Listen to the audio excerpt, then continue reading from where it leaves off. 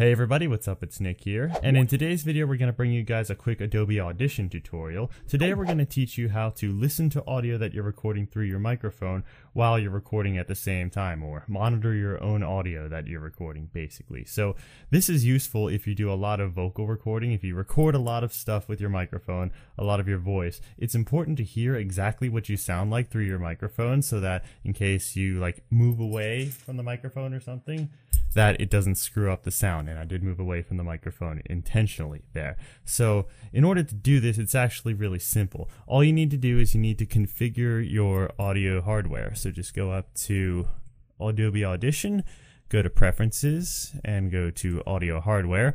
Once you're in there, make sure you have your default input set to your microphone and the default output set to whatever your speakers or your headphones are at that. And then just click OK. And for this, we're going to start a new multi-track session. But since I'm already in a new multi-track session, we're not going to do that. And now, just to simulate that this actually works, I'm going to put on a pair of headphones so now I can hear everything that's going on on the computer. So what I'm going to do is normally I just want to go to record. So I'm going to click the little R right here, which is to arm for a recording, which makes it so that now we are prepared to record some audio. So now you can see that there are the little audio meters right here that show all of the different activity that's going on within my microphone.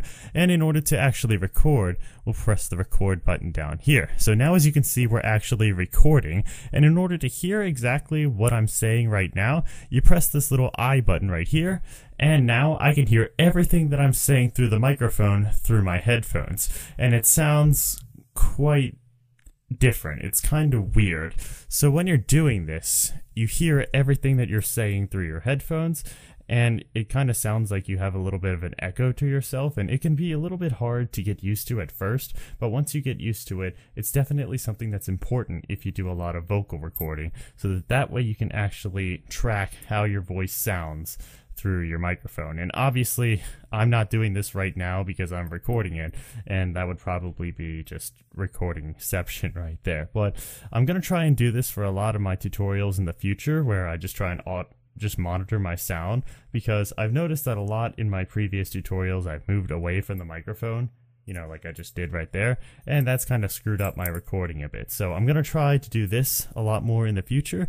And anyway, I hope this helped. If you guys were having trouble figuring out how to do this, it's a quick and easy tutorial aimed for beginners. So that's pretty much it. If you guys don't have access to Adobe Audition, I'll show you a free way to do this. It's absolutely free using a program called Audacity, which just happens to be running in the background right here. So I'll have that video up in a few days, and uh, thank you for watching, and I'll see you guys next time.